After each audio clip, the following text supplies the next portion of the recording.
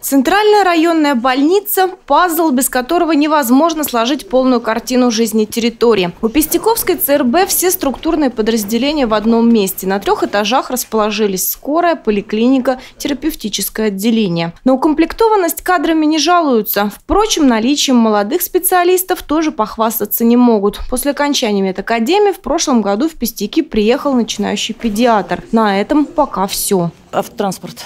У нас это самая больная тема, потому что и скорая, медицинская, скорая помощь, и санитарный транспорт нам просто очень необходим. Мы отдаленный район, э, приходится маршрутизация пациентов в Шую, в Иваново, то есть это от 100 километров и выше доставка.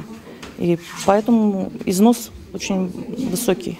Пациентка Нина Александровна пожаловалась на отсутствие аппарата УЗИ. Руководство ЦРБ пояснило, сейчас ведутся торги. Совсем скоро оборудование поступит. С другими проблемами дело сложнее. Копились они годами. Везут больного инфарктника, инсультника, лежа трясут по такой дороге на 90 километров. Сейчас, кстати говоря, за лето делаем дорогу Шуя-Палях.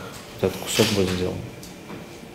Вы проверите потом. Вы не на своей машине в хорошей проедете, а лежа на скорой помощи. И тогда вы поймете, как это тяжело человеку ехать. Понимаю, вот, понимаю. Вот, но у нас, вот. к сожалению, не только в Пестяках у нас такая Я понимаю, но раньше, но раньше выхаживали здесь всех в Пестяках у нас. Специалисты были все. А? Здесь, да? Да, здесь были. Хирурги, хирурги были отличные, педиатры были отличные. Сейчас вообще у нас ничего. Сейчас в области занимаются разработкой оптимальной карты маршрутизации больных, чтобы понимать, куда и с каким недугом можно оперативно доставить пациента. Мы отремонтируем Кинешевскую ЦРБ, поставим географ, тогда у нас часть уже пациентов смогут ездить, например, на север. Да? По остальным тоже распределим эти все маммографы угу. и эндоскоп у нас еще. Эндоскопы, да. И тогда, чтобы мы понимали по каждому жителю, куда мы, в каких ситуациях его везем. И на это я хочу наложить карту еще ремонта дорог. Что касаемо Пестяковской ЦРБ, Станислав Воскресенский попросил посчитать стоимость текущего ремонта первого этажа. Помещения, судя по виду, не приводили в порядок с момента постройки с 1985 года.